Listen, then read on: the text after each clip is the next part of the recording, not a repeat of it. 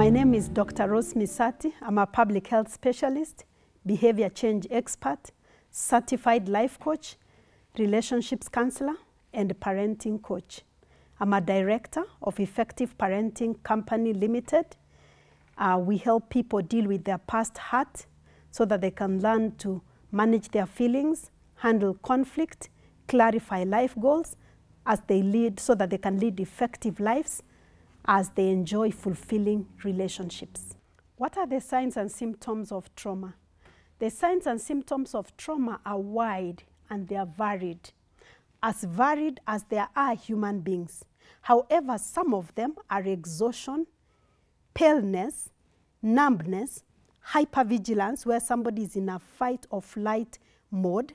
Somebody may have um, irritable bowel syndrome. Somebody may be numb, or they may have a racing heartbeat. These are some of the signs and symptoms of trauma.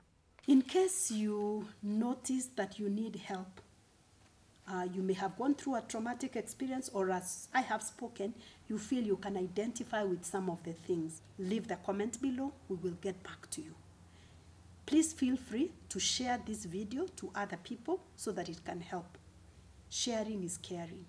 Let's have a healed community. That way, we can enjoy healthy and fulfilling relationships with everybody. I normally say, I'm not okay until the other person is okay. So even if you're okay and the other person is not okay, we are not okay. So please leave a comment. We will get back to you. We will be glad to be of help.